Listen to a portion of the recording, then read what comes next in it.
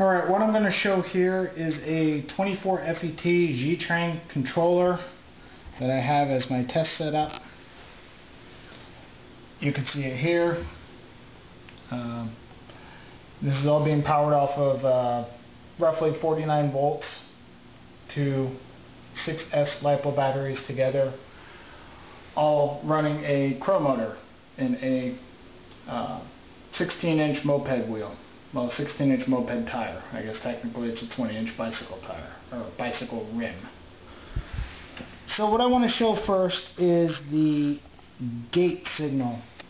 What I want to show you here is what happens when you're running at a 100% throttle or 99% throttle and 105% throttle setting in the Xie Chang controllers because uh, it gets a little interesting once you go over 100%. So here we go. This is 99% throttle. We're on a 500 microsecond scale. This ends up being right around a 2 millisecond pulse length with 16 kilohertz pulse width modulation going on in there. If I zoom in on it a little bit, there you can see the pulse width modulation going on. As you'll notice, it doesn't quite make it all the way down to the bottom, whereas if I lower the speed, you'll see the transition now you have uh, some space in between there. That's just because of the charging of the FET. We zoom back out.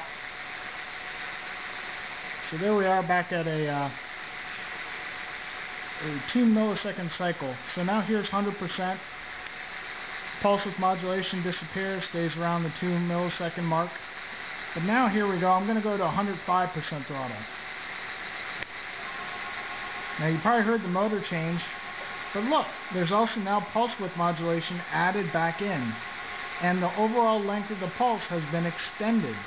It is now running around 22 or 2.2 milliseconds, 2.3 milliseconds longer. That's 105% longer. I'm going to switch it over to 120 now.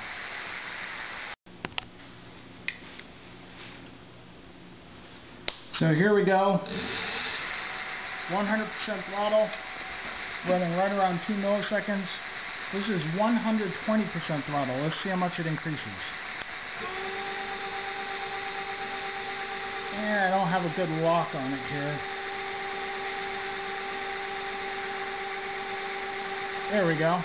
For those who wondered what happened going over 100% throttle, well, this is what happens to the gate drive at least. I haven't compared it to a Hall sensor input yet to show you exactly what happens.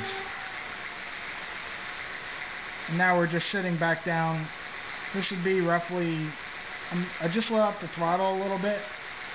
So we're still in PWM in the 120% uh, throttle mode. So you can see it alters the pulse length, of course. Yeah, when we get up to a certain point in the throttle, it just kicks into that high gear basically and things change. I'm still not sure what's causing or how it actually functions. I just wanted to let you know that the way I'm measuring this is I have a the positive probe of the scope sitting on the gate of the FET on one of the phases and then the ground is actually sitting on the this is all on the high side so I'm actually sitting on one of the phase outputs. So this would be the source side of the FET okay what I've done now is I've set the ground probe up to the controller ground and I have the positive probe of channel A going to the same phase that I was on before and that would be phase A I believe of the controller.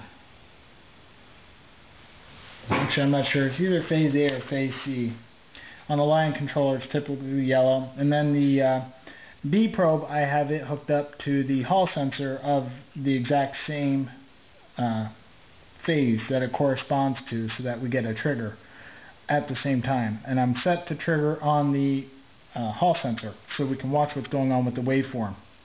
So what we're doing now is watching the trapezoidal output of this controller. So here we go. I will show you what is going on at 99% throttle.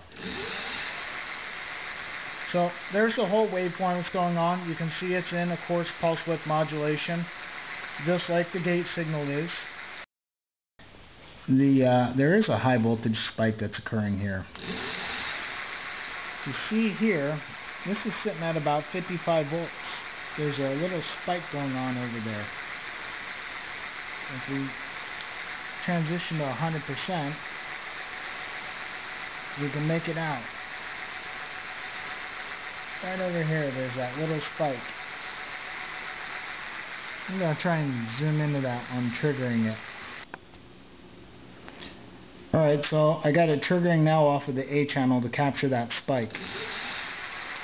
So, alright, what I'm going to show you now is the different modes that the waveform goes through. On the output here, when I switch from 99% throttle to 100% throttle, and then to 120% throttle finally. So here we go. 99% throttle, impulse width modulation.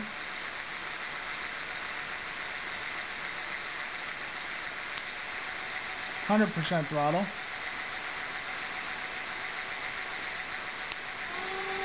And 120% throttle. I'll hold that so you can take a look at it. I'm not quite sure what that's doing, but it, it looks like it drops out of a trapezoidal directly into a square waveform, which is kind of bizarre. And it also looks like the voltage has gone up a bit yeah, looking up here, it looks like it rises up to about 48 volts there uh, at the peak when you're in 120% mode.